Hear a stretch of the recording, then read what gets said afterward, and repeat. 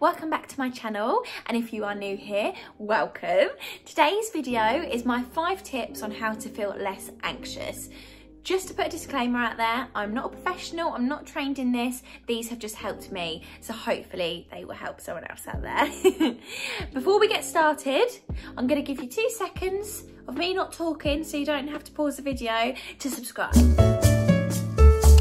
Great, thank you for subscribing, welcome. if you do enjoy this video, please like and leave a comment down below and don't forget to subscribe. Let's go ahead and get started. So my first tip is having an easy routine. Now, this is not to set a routine of everything you need to do in the day, because sometimes I think that can actually have the opposite effect and make you feel anxious if you don't do those steps. But the things I find that have helped me is I've got a cat, so I have to wake up and feed her in the morning. And my cat has definitely helped me get out of bed, especially on a weekend if I don't have work to go to, and just get my morning going. Um, I'd also say a nighttime routine. So whether you have a shower before you go to bed or you do certain things to help you relax. I will be doing another video on my five tips on how to sleep better. Keep an eye out, do that notification bell so you will get a video about that as well. Sometimes I could just lay in bed and think, oh, I don't want to do that. I don't want to get out. But making sure you do those things, even so small as in like brushing your teeth or brushing like I don't know, cleaning the kitchen side.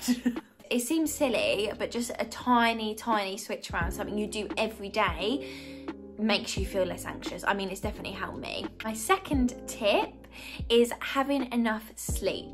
Now, I wish I was that person that could go to sleep at two and wake up at seven, but I can't, I actually can't. And I have found in my life that me not getting enough sleep makes me more anxious. I'm more emotional and when my emotions are heightened then I get more stressed about things. The more I get stressed the more anxious I get. So making sure that I have that amount of sleep. Now it's different for every person. Obviously I think they like the government suggests to have like 8 to 10 hours sleep might have made that up, I don't know.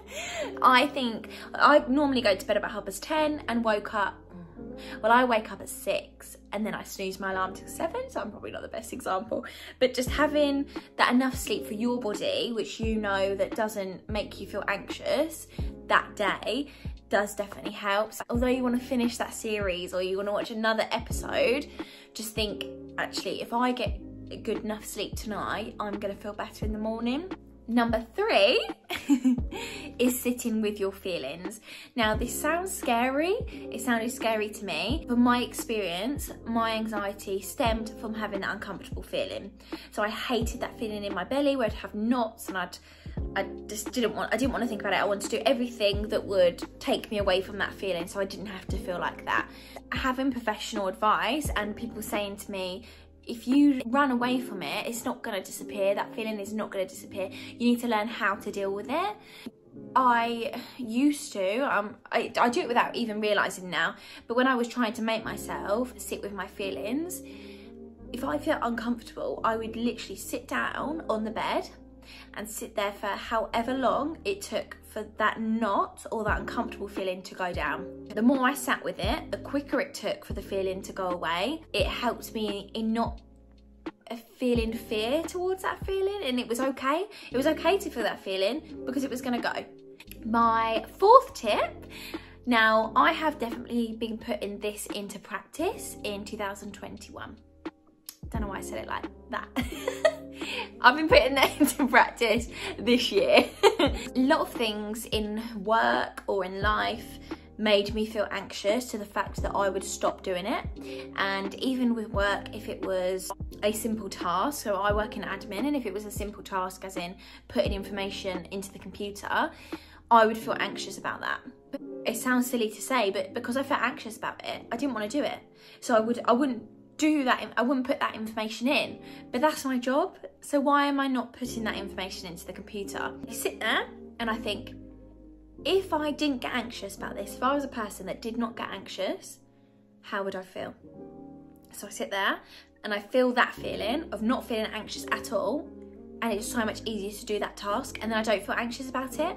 I know that sounds, I don't know if that sounds stupid or like a really easy thing to say, I don't know, but I haven't thought of it before and it has really, really helped me. You feel like, it's almost like a weight is lifted off your shoulders because you're waiting for that anxious feeling because you know it's coming, you know you normally get anxious about this thing.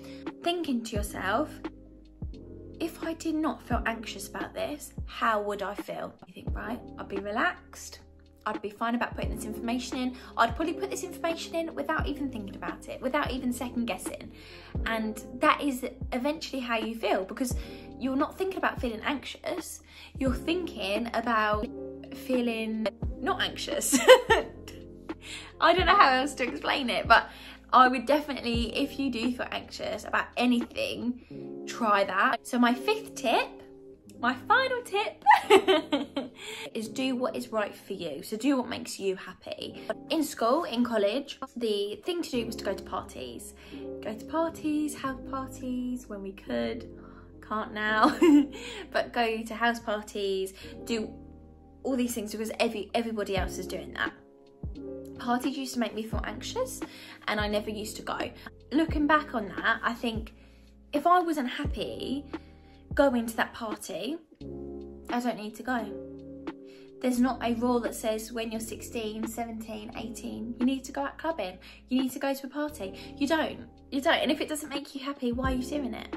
Do it once.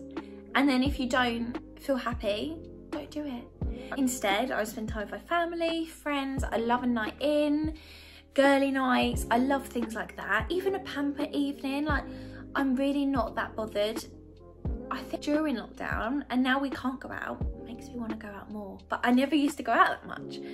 Having anxiety, people say, push yourself out of your comfort zone. You'll feel better, you'll feel better. But if you know that that is what's making you anxious, you don't have to do it. You don't have to go out to a party. You don't have to go shopping. You don't have to do anything. Nobody is telling you have to do something when I felt better in myself and I felt less anxious, going out to a party or going out clubbing didn't make me anxious because I dealt with my feelings. I did stuff that made me happy. And once you do stuff that makes you happy, it feeds your soul. You get loads more things make you happy and then you're not worrying about most things. So just do what makes you happy because then you'll feel less anxious. I hope these tips have actually helped someone out there because they have helped me. And yes, in my next video, we will be talking about um, tips on how to sleep better um, because I struggled with that before and now I, my head is on the pillow and I'm gone. I hope you enjoyed my video and if you did enjoy it, don't forget to subscribe and like and comment and yeah. Have a lovely day. What a wonderful